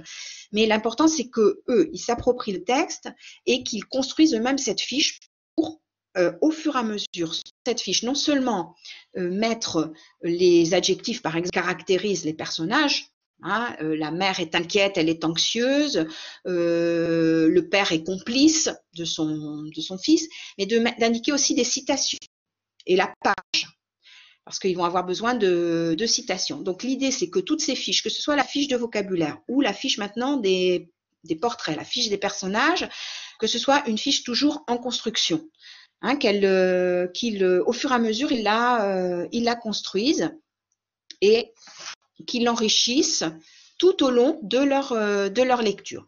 Ensuite, bon, du passé au présent, alors le traitement du temps, là je m'intéresse au, je chapitre 4 euh, à 7. Alors ces chapitres, je ne l'ai pas dit, euh, là je ne les, lis plus avec eux. Hein. ils sont en, autonomie dans cette première partie voilà, je leur demande de lire pour tel jour. Si je vois que dans certains chapitres, des mots vont leur poser problème, je leur donne avant pour que n'ait pas à aller les chercher, même si parfois ils peuvent le, faire. Donc la quatrième euh, question là, du passé au présent, le traitement du temps, ça va me permettre de, d'aborder la question du, genre parce que on a des chapitres qui correspondent à la fois au présent de Daniel Pénac, l'adulte, l'écrivain, et au passé, euh, Pénac, élève et enfant. Donc les chapitres 4 et 6, c'est le présent de l'écrivain qui commente son projet d'écriture avec son frère, par exemple, hein, et l'écriture de son livre, donc c'est le temps de l'écriture. Et les chapitres 5 et 7, bah, c'est le passé. Il revient sur cet épisode là justement de la poubelle de, municipale de Djibouti, où dans laquelle il, euh, il est tombé. Euh, les bons hommes qu'il dessine pour fuir, ça c'est le temps de l'histoire. Et donc on est bien dans l'autobiographie, on est bien dans va-et-vient entre le présent et le passé, et c'est bien propre au, au récit autobiographique. ici, l'aller-retour entre l'élève et le professeur et même l'écrivain qui commente la construction de son texte, qui commente son texte voilà comme, comme objet euh, littéraire. Et on a aussi dans, cette, euh, dans la lecture de ces chapitres euh, la question des sentiments.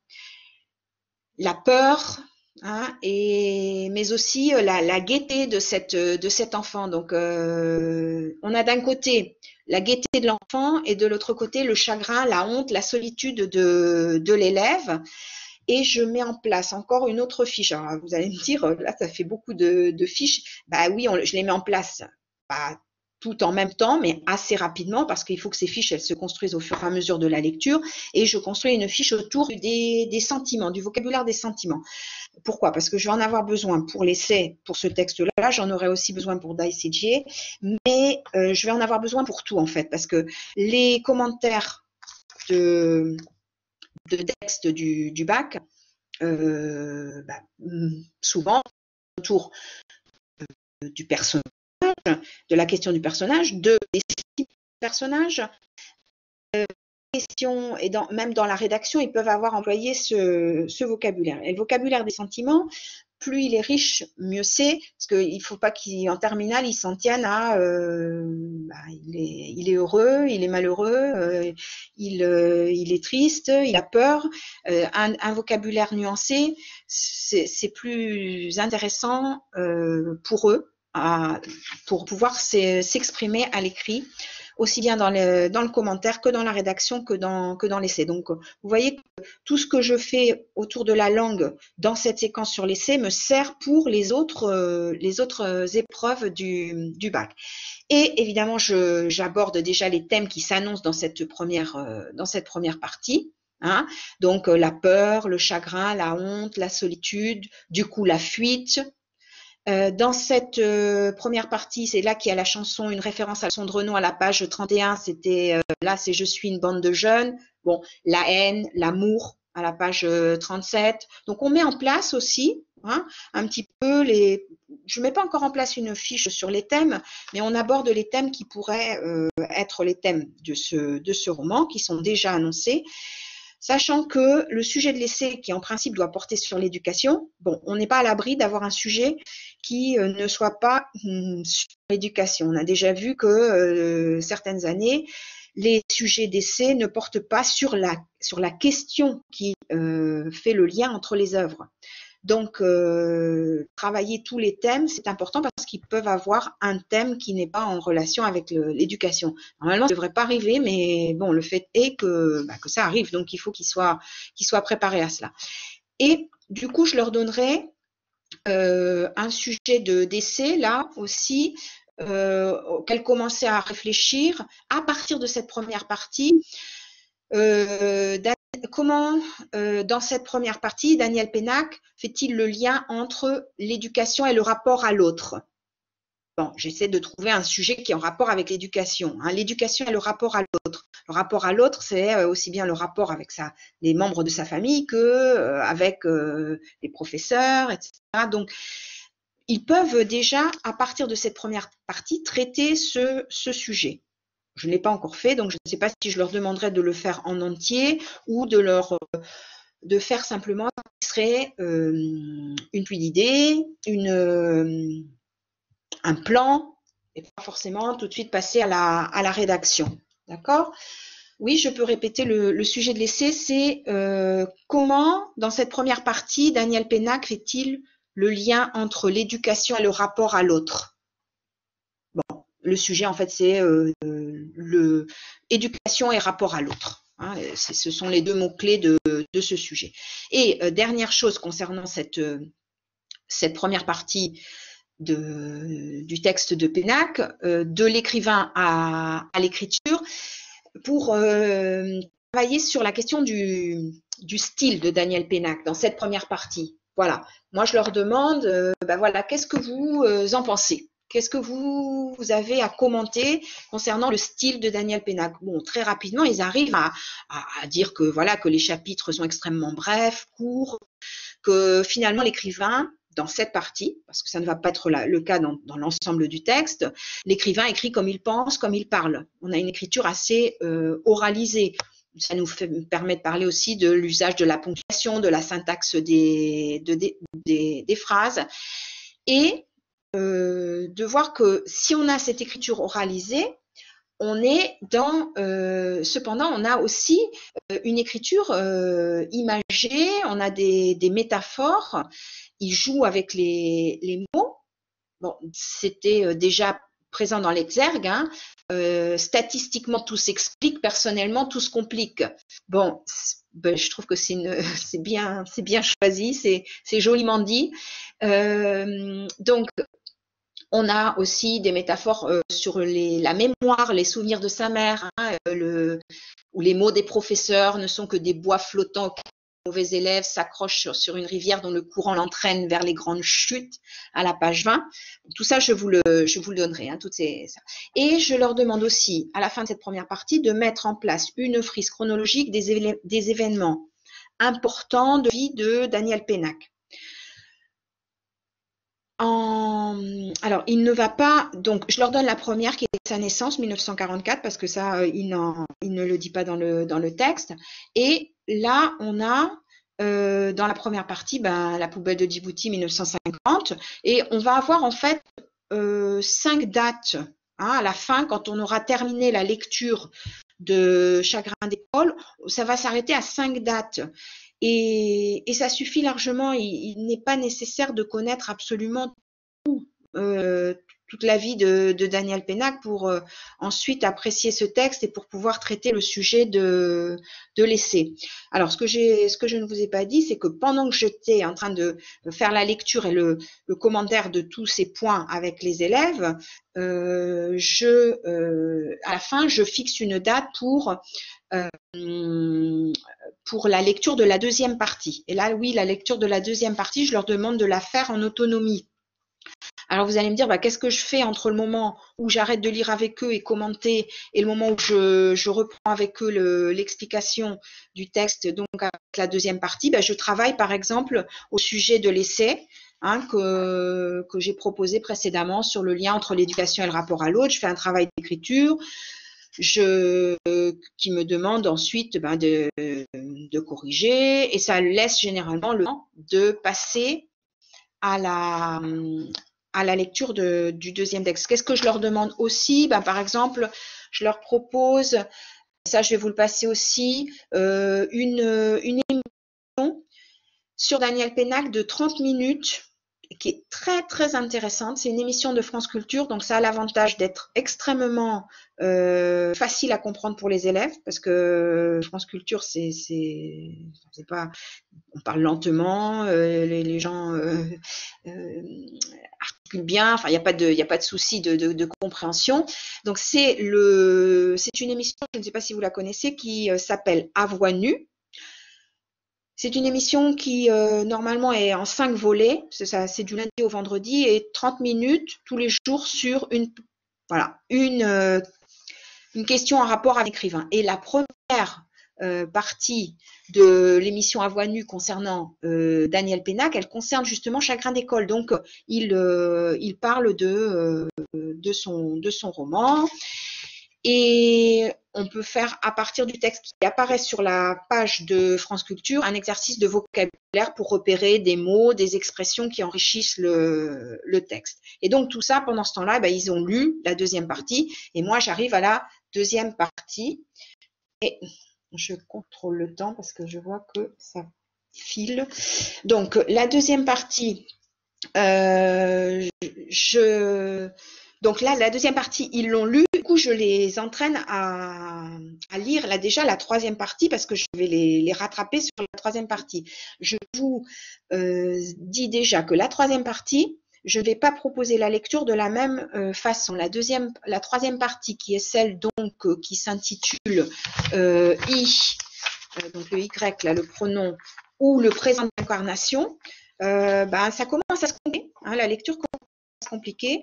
Et du coup, je fais une lecture un petit peu différente. C'est-à-dire que généralement, j'ai de grands lecteurs et de petits lecteurs. Alors, je demande aux grands lecteurs de faire intégrale de cette partie, de cette troisième partie, et de, euh, de dire, voilà, qu'est-ce qui est le euh, minimum, euh, qu'est-ce qu'il faut lire absolument pour quand même bien comprendre toute cette partie.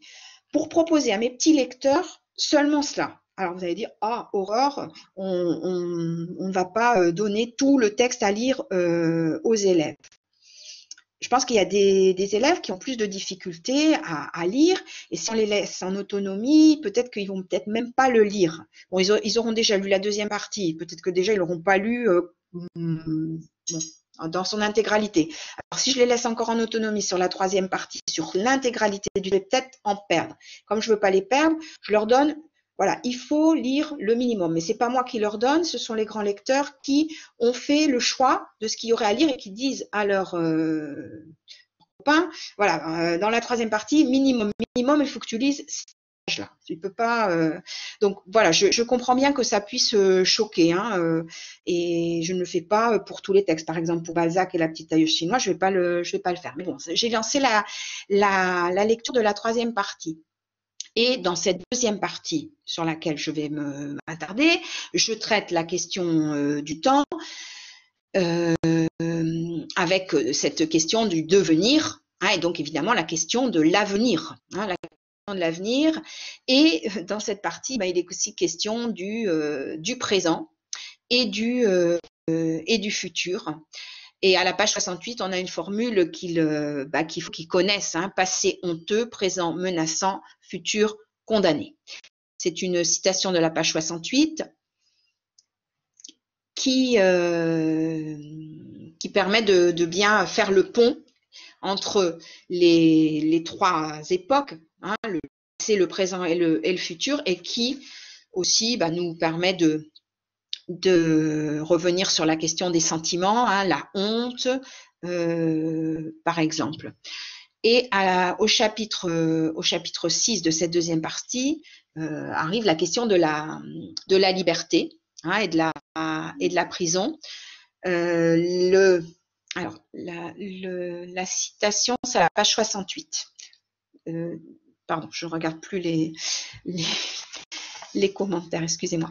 Donc, le, chapitre 6, la question de la liberté et de la prison, euh, l'école étant une prison non seulement pour les professeurs, pour les élèves, mais aussi euh, pour les élèves, avec cependant bah, la possibilité d'y échapper. Alors évidemment, cette question de la liberté, elle m'intéresse particulièrement parce que euh, je vais devoir la, travailler aussi dans, le texte de Balzac, la petite tailleuse chinoise.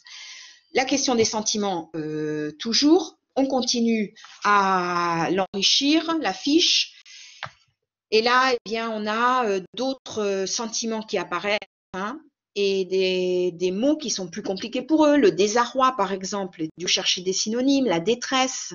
Hein, et on n'est plus seulement sur le la peur, on, nuance.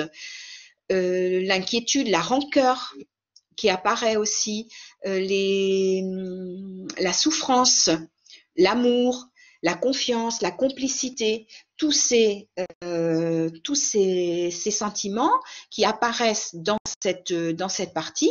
Et donc, je, euh, travaille sur, euh, la, construction, l'élaboration d'un fiche. Et je, reviens. je reviens à mon sujet numéro un parce que là, je peux commencer à le, à traiter. Hein, L'idée du bonheur et du malheur que j'avais laissé euh, en, en, suspens, parce que je m'étais intéressée juste à la méthodologie de l'introduction, je peux reprendre ce sujet parce que maintenant j'ai davantage d'idées à euh, avancer, je peux les enrichir. Évidemment, la question du, du mensonge qui permet de, de fuir, la, la, la, spirale du mensonge. Donc, dans cette partie, les chapitres 15, 16, 17, les portraits, euh, donc euh, du singulier au collectif parce que je vais avoir des, portraits qui vont être euh, ben voilà évidemment le, narrateur un pénac mais aussi ben, la mère le père et des types il y a les mères par exemple hein, les mères types il y a les élèves il y a l'élève externe et l'élève interne les professeurs sauveurs tout ce collectif qui constitue des, euh, des portraits. L'école au cinéma, bah, le chapitre 19, et ça me permet de, bah, de reparler de ce qu'on a fait dans la séquence précédente, et ce que signifie la lecture et sa, signification. Alors évidemment, là, ça m'intéresse aussi de leur dire attention, cette, euh, partie de ma, séquence, elle est particulièrement importante parce que je vais, servir aussi dans ma prochaine séquence sur Balzac et la petite taille chinoise. Que signifie la lecture? Qu'est-ce que euh, ça représente? Et là, je suis euh, sur l'idée évidemment de d'espace de liberté, de planche de salut et de bonheur absolu. Donc, euh, j'avance un petit peu vite pour ensuite euh, répondre à vos questions. Euh, donc la partie 3, je je travaille sur ces différentes notions, donc de la réflexion sur la langue, le sens des, le sens des mots. Donc c'est les pronoms ici, hein, les pronoms adverbiaux, le en, le ce qu'ils signifient, la question de la, de la pédagogie, hein, qui apparaît, qui est très détaillée dans cette, dans cette partie, les, les difficultés affrontées, la pédagogie euh, différenciée, euh, la pédagogie euh, rétrograde, l'exercice de la dictée, les bienfaits, les méfaits de la dictée. Hein, c'est cette partie sur laquelle il, euh, revient euh, là-dessus. Et puis, évidemment, ça donne lieu à des conversations qui sont plaisantes parce que eux-mêmes ont des souvenirs de la dictée qui parfois sont très très douloureux pour certains. Donc la découverte de la langue, Hein, le, apprendre par cœur, qu'est-ce que ça signifie. Puis c'est intéressant aussi de parler avec eux de tous ces de tous ces sujets parce que ce sont eux-mêmes des élèves, ils ont aussi leur leur leur point de vue sur la sur la question et ça les ça les généralement ils aiment euh, ils aiment bien ça. La note évidemment. Hein, euh, Est-ce qu'il faut noter ah, Bon, toute cette deuxième, cette troisième partie autour de ces sujets beaucoup de travaux de, de l'oral, à l'oral, surtout la question là sur la, sur la pédagogie. On revient encore à la question du, du temps, hein, que j'avais déjà euh, abordé dans la première euh, partie. On a aussi euh, le professeur, qui, qui apparaît. Et le, le rapport à l'autre, ça, c'est la, toute la partie où il est question, par exemple, de faire l'appel. Hein, le professeur qui fait l'appel, celui qui l'appelle, euh, mais le professeur qui s'intéresse à ses élèves et qui les connaît et qui les appelle par leur prénom. Euh, donc, le professeur.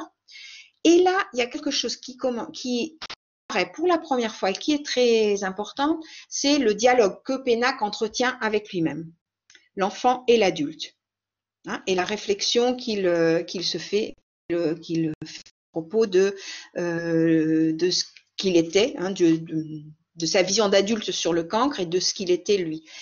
Et la tonalité du texte qu'on avait déjà abordé dans la première euh, partie, hein, qui est quand même, euh, quand même drôle.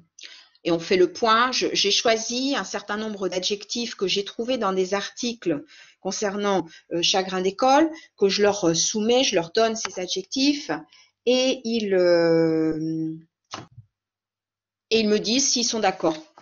Donc, par exemple, il y a, drôle, il y a insolent. J'ai trouvé insolent, j'ai trouvé malicieux, j'ai trouvé mélancolique. Je leur demande à, la suite de la lecture de ces euh, parties, qu'en pense-t-il? Est-ce que c'est un texte qui paraît mélancolique euh, et pourquoi?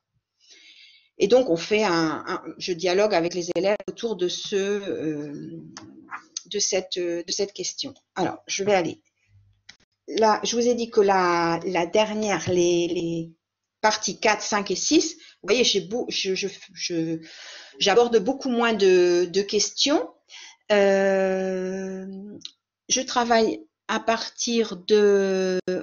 sur, à partir des sujets, des thèmes sur euh, les, thèmes principaux du, texte en, travaux de groupe, donc euh, la solitude, l'exclusion, la pauvreté, la langue, et j'essaie Donc, je, répète, hein, la solitude, l'exclusion, la pauvreté, la langue, et j'essaie de leur demander de mettre ces thèmes en relation avec le thème de l'éducation. Donc, ils doivent euh, euh, bah, faire comme un, oui, un travail de groupe où, à travers le texte, ils vont traiter, ils vont euh, parler de, de, ces sujets, ils vont traiter ces sujets. Comment est-ce que la solitude, l'exclusion, la pauvreté sont traités dans, ces, dans cette partie? Et après, il peut y avoir une restitution qui va être une production écrite, collective ou une production orale. là, hum, entière liberté de, du choix de la, de la production. Mais l'important étant qu'il euh, trouve le rapport avec l'éducation. Et euh, on a, du coup, on parle aussi euh, de, on essaie de deviner des sujets d'essai en relation avec l'école. Qu'est-ce qui pourrait tomber le jour du bac concernant seulement chagrin d'école? On est, on est en train de parler que de chagrin d'école. Donc, en ce qui concerne ensuite la structure du texte, la forme du texte, je leur pose la question de, voilà, que, remarquent-ils sur la longueur des, parties? Euh, ils, arrivent rapidement à la conclusion que nous, nous laissons, euh, enfin Daniel Pénac, pardon, laisse euh, de plus en plus place à la réflexion ce, qui au début était très anecdotique et qui euh, leur plaisait hein, dans la lecture. C'est pour ça que je les ai laissés un petit peu euh, tout seuls lire et tout. Bon, ça, ça leur plaît, toutes les petites anecdotes autour de ce qui euh, lui arrivait quand il était élève, de ce qu'il pensait, de sa relation. Bon, toutes les anecdotes, ça leur plaît. Mais après, quand on commence à entrer dans, les, dans les, la, partie de plus de, réflexion et presque d'essai, ça devient plus, plus compliqué. Et du coup, la question du genre, elle se, elle se pose à nouveau. on texte autobiographique, certes, mais là, on glisse vers euh, carrément un texte de réflexion qui, euh, par certains passages, euh, s'apparente à, un essai. Donc, la question du genre, elle, revient. Maintenant, bon, je pense pas qu'on ait ce genre de sujet au bac, mais bon, c'est quand même important de, de les faire travailler là-dessus. Là, euh, la partie 5, je vais, vite, hein, je suis désolée parce que je vois que le temps, euh, le temps tourne, le temps passe, pardon. Donc, euh, la partie 5, une lecture balisée. Alors, je leur demanderai dans la partie 5, j'ai perdu mon livre. Dans la partie 5, ce que je leur demande de faire, c'est vraiment de là, il faut qu'ils la, lisent, mais voilà, qu'est-ce qu'on qu'est-ce qu'on garde? Qu'est-ce qu'on garde? Dans cette, dans cette partie Qu'est-ce Quel est le, là aussi, quels sont les, les éléments absolument indispensables, mais, mais ils la lisent en entier. Et euh, je, je, reviens, je rappelle qu'ils ils ont continué à mettre un titre à chacune des, des parties. Hein, par exemple, le premier de la partie 5, c'est la rencontre avec Maximilien. Euh, je ne sais pas, le, euh, le 4, c'est il faut être jeune. Le, le 6, c'est la société de consommation. Bon, je, n'ai pas cessé de leur dire de mettre des titres au chapitre pour se retrouver dans la, dans la lecture. Et apparition d'un apparition, pardon, d'un nouveau thème, la violence. La violence, hein, avec ce personnage de, euh, de Maximilien. Et on arrive à la question de la violence euh, sur les causes de la violence. Pourquoi est-ce qu'ils sont violents? Donc euh, la société de consommation, les marques, l'importance donnée à l'apparence et les conséquences. Euh, bah, la stigmatisation du cancre, hein, des délinquants. Et là, je, pense, parce que je ne l'ai pas encore fait, mais bon, je pense que ça, je vais faire un petit débat là sur la violence, sur la violence à partir de cela, hein, les causes, les conséquences et un, débat, un vrai débat. Enfin, un vrai débat. Euh, tous les débats qu'on fait en, classe sont de, sont de, vrais débats, mais là aussi, un débat euh, avec chacun une position à défendre, pas forcément celle qui euh, est à leur. Hein, mais ils ont des positions à défendre, avec un, modérateur, enfin j'organise un, un, vrai un débat. Et la 6, ensuite, la dernière, euh, donc, ce qui veut dire, alors là, je, je fais la lecture euh, intégrale avec eux, la, lecture de cette, euh, de cette partie, hein, lecture accompagnée, et je donc la place de la réflexion hein, dans, ce, dans ce texte. Bon, du côté des bons, alors les élèves friandises, les professeurs sauveurs. Je j'en profite pour leur faire lire euh, la lettre de Camus à son maître et la réponse de, celui-ci. Bon, après l'histoire de l'éducation, bah, on, en avait déjà parlé hein, dans la séquence précédente, donc on, voit des choses qu'on avait déjà vues, les enfants euh, instrumentalisés, l'enfant euh, pliant, et puis euh, l'excipit euh, aimé qui sauve tout. Finalement, c'est l'amour qui, qui sauve tout. Et euh, et voilà. Alors, donc, euh, je, suis allée vraiment là très très vite pour, euh, pour la fin. Je suis désolée pour pouvoir euh, avancer sur, cette, sur ce texte. Alors, je, là, là, je vais aller deux minutes, mais donc, le, pour euh, euh, Balzac et la petite taille chinoise. Alors, je sais que certains euh, professeurs préfèrent commencer par ce texte. Hum, c'est tout à fait euh, non seulement possible, mais respectable, bien entendu. c'est une histoire, finalement, plus une histoire. Ils peuvent trouver que c'est vous pouvez trouver que c'est plus facile de commencer par Balzac et la petite taille chinoise. C'est vrai. Alors moi, comme je pense que c'est plus difficile peut-être sauf le début hein, de Daniel Pénac, mais ensuite c'est difficile quand même. Toute la partie là, il y a une partie qui sont quand même pas, simples. Bah, je préfère commencer par le compliqué et terminer par le plus simple. Mais ça, c'est tout à fait euh, personnel. Alors, comme il y a un film euh, de Balzac et la petite taille chinoise, que de toute façon ils vont le voir. Euh, bah moi, je mets du film au livre ou, inversement. Là aussi, ça peut paraître un petit peu euh, étrange de faire euh, regarder le film avant de lire le, livre.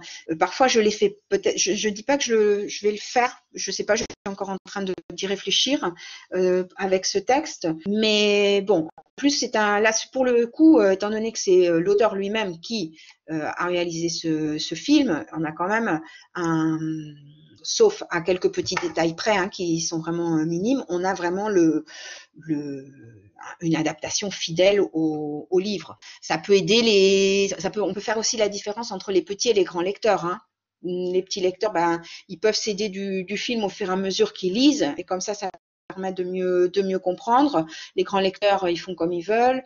Bon, un petit peu, euh, un petit peu au goût de chacun. Mais de toute façon, le film, ils vont le voir.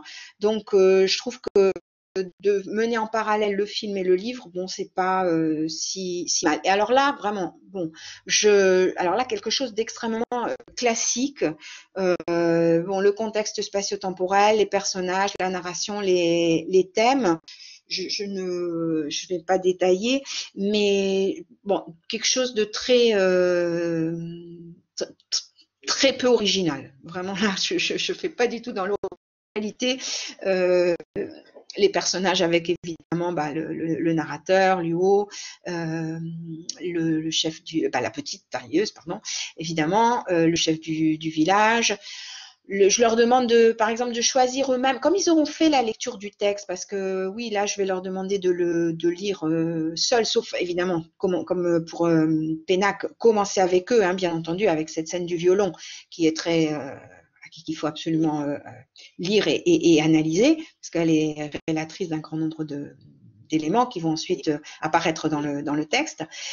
Euh, les, personnages, ben, je leur demande de choisir eux-mêmes dans, le texte, dans l'ensemble du texte, quels sont les passages concernant les personnages qui sont incontournables. Par exemple, il faut absolument qu'ils retombent sur les, portraits de la petite tailleuse, celui du début et celui de la fin, pour bien voir l'évolution même si, euh, bon, euh, on a enfin, beaucoup de, de, critiques euh, ont choisi de parler de romans d'apprentissage. Moi, je trouve que c'est tout à fait. Enfin, c'est pas que ce soit pas un roman d'apprentissage pour la petite taille chinoise, mais je, ça, me, gêne un peu, mais bon, ça c'est une autre, une autre chose. Donc, bon, ils doivent tomber sur les, sur les personnages, les portraits, euh, c'est pareil dans la narration, quels sont les passages incontournables. Et alors là, on s'arrête sur certains textes que l'on va euh, étudier et des thèmes évidemment qui reviennent, le, la, la question euh, de la, de la lecture et puis ici la question, bah, plus de l'éducation, bah, de la rééducation. Donc dans un, dans un des textes, on a l'éducation, dans l'autre, on a la, rééducation. Et, euh, et puis, ce n'est qu'après que je vais enfin déjà, si vous voulez, quand je suis dans cette séquence, je suis déjà en train de penser à des sujets croisés entre les deux, euh, les deux, hein, la lecture, mais aussi euh, certains sujets qui tourneraient autour des sentiments des, personnages, le mensonge, bon, la beauté de la langue. Alors là aussi, hein, il y a des sujets qui ne sont pas en relation avec l'éducation, mais comme je vous l'ai dit, et vous le savez puisque vous, vous avez vous avez vu les sujets qui sont tombés les autres années, et parfois le, sujet même des, textes ne, tombe pas euh, à l'essai. Donc, euh, donc voilà. Euh, je, suis désolée, hein, je suis allée très très vite là, à la fin. Donc, je, m'en excuse parce que si j'espère que c'est pas à cause de moi que la connexion été si mauvaise parce que si vous m'avez entendu, voilà. Oui. Oui. Tu, veux que je reprenne la parole? Bah, euh, Pour moi, oui. Euh, oui, oui, oui. Alors, euh, Laurence, écoute, bien évidemment, ce, petit, ce petit, ces petites difficultés techniques nous ont fait perdre un peu de temps. En attendant, vraiment, je pense, et ça se voit dans les messages qui apparaissent, tu as fait un exposé d'une extrême qualité et qui, je pense, va être fort utile pour tous les collègues qui ont pu le suivre. Et on espère bien évidemment euh, réitérer euh, ce format webinaire très bientôt et peut-être qu'à ce moment-là, on pourra passer un peu plus de temps sur certains aspects de, euh, de DICG. Je me permets, au milieu de tous ces remerciements qui défilent, de t'adresser quelques questions que j'ai pu relever de la part des collègues. Bien sûr. Bien sûr. Alors, il y a eu tout un débat sur le chat, effectivement, sur quid de commencer par euh, DICJ ou par euh, PENAC Tu as répondu à cette question, mais effectivement, euh, ça a été quelque chose qui a animé le chat pendant, pendant un petit moment. Mm-hmm. Une enseignante à plusieurs reprises nous a fait part de son utilisation elle, des cartes mentales, notamment pour accompagner la lecture de PENAC. Alors, mm. une question, est-ce que toi, c'est un outil que tu utilises, la carte mentale Est-ce que tu auras un exemple concret, notamment au regard de ces deux œuvres? Euh, Alors oui, oui, oui. Je, pratique aussi la carte, la carte mentale, euh, mais je ne sur ces deux œuvres-là, je n'ai pas de, je n'en ai pas euh, demandé ni, ni proposé. Mais c'est une excellente, une excellente idée. la carte mentale est fort utile aux élèves au moment des révisions. Hein. C'est tout à fait intéressant comme comme outil, bien entendu, bien bah, entendu. donc, euh, là, je ne l'ai pas mis, mais euh, évidemment, la, carte mentale, la carte heuristique, euh, c'est, ça permet de synthétiser, c'est très visible. Très, en plus, bon, après, il y a des programmes pour les faire, ils aiment bien. donc, je, les, je, les ai je les ai travaillés sur d'autres textes, mais c'est vrai que pas sur ceux-ci, et c'est une, une, excellente, une excellente idée que je reprendrai. Merci. Bah, écoutez, euh, et, je remercie aussi par la même occasion tous les collègues qui euh, ont partagé aussi de leurs ressources euh, pendant, le, pendant ta présentation, que ce soit sur PENAC ou d'ICJ. Merci beaucoup d'avoir partagé ces éléments. une autre question que j'ai relevée, alors c'est une question, là, une précision. Quand évoqué le mensonge dans l'œuvre de PENAC, certains collègues mmh. avaient besoin ça des chapitres. Il semblerait que c'était bien les chapitres 15, 16 et 17 qui traitaient de cette thématique. Est-ce que tu peux nous, donner cette Alors, précision? euh, attends, je reprends mes. Hmm, oui, parce il y a quelque chose que je n'ai pas fait dans mon texte, c'est justement de numéroter ces, chapitres. Ces chapitres. Donc, euh, en fait, on pourra faire remonter l'information euh, plus tard, hein, sinon. Je leur, c'est voilà quand il ment, quand il doit inventer, ou les élèves mentent quand ils doivent inventer des prétextes parce qu'ils n'ont pas fait leur devoir, D'accord.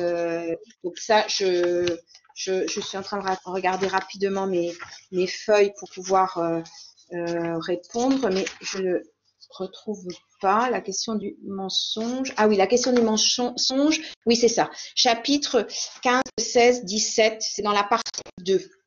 D'accord. Chapitre la 15, spirale 16, du 17, mensonge. partie 2. Ouais. Spirale du Oui, mensonge. Merci c'est- beaucoup. C'est drôle parce que c'est le mensonge des élèves, mais aussi les parents qui inventent et qui mentent pour couvrir leur, euh, leurs enfants. Maintenant, je me, je me souviens de ça, effectivement, oui. Oui. Alors, euh, de- dernière remarque euh, qui est pas liée à ta présentation, euh, Laurence. Certains collègues me demandaient, mais est-ce qu'il existe une coordination des professeurs Bachibac à l'échelle de l'ensemble du territoire? Alors, à ma connaissance, non. Euh, je sais que euh, par expérience, dans certaines communautés autonomes, notamment ici en Catalogne où je suis basé moi-même, je sais qu'il existe des Moodle et des groupes WhatsApp euh, qui regroupent euh, les, les professeurs de Bachibac. C'est une excellente idée. Je pense que chacun peut le faire à son échelle dans sa communauté. Ensuite, euh, faire jouer vos contacts entre collègues d'une communauté à l'autre pour essayer de, bah, d'agrandir ce cercle me paraît une excellente idée.